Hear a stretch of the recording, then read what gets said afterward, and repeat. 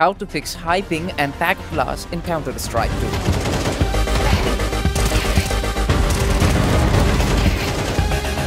So if you're struggling with high ping and packet loss problem while playing Counter-Strike 2, here are some of the tips and tricks that you can actually use in order to enhance your ping and minimize the packet loss. So first thing first, let's go to Steam and check if the system files are correct and they are not corrupted. So in order to do that, open up your Steam and from here go to your game, right click on the game and go to properties. And on this section you would be able to see go to installed files. Just like I've shown in the screen and from there tap on verify integrity of game files and make sure that the game files are correct and are not corrupted. Now the next thing that we need to do is to go to run command. Simply press Windows and R on your computer and on the run command type percentage him percentage hit enter and from here delete all the temporary files that are stored on your computer. Now the next thing that we have to do is to disable the proxy server if we are using any. So go to Windows and type proxy server and from here you would be able to find change manual proxy server settings and here disable the proxy server. Now after this, we need to change some settings under command prompt.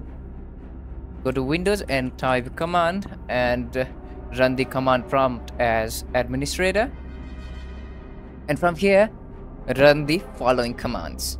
ipconfig space slash flush DNS at first. After this, type ipconfig space slash release.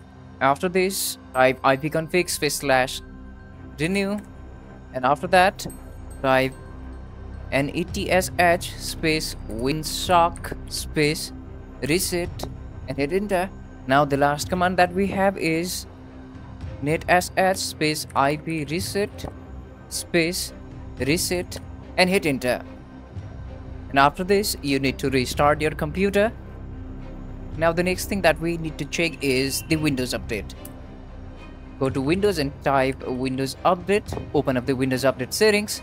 And from here, make sure that your Windows is up to date.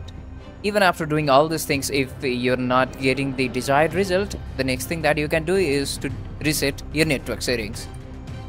Simply go to Windows and type Network Reset and open up the Network Reset.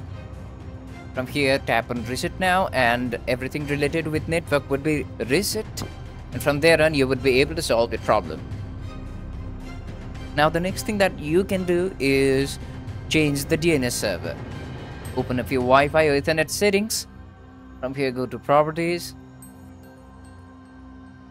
Go to Internet Protocol version 4, go to properties and from here select use the following DNS server addresses and uh, you can choose the DNS server that are free to use. Click on OK and apply the changes and restart your computer once again and you would be able to solve your problem. So these are some of the fixes that you can actually try to minimize the high ping and packet loss in Counter-Strike 2. If you find this tutorial helpful to subscribe and don't forget to leave us a like and comment. Thank you.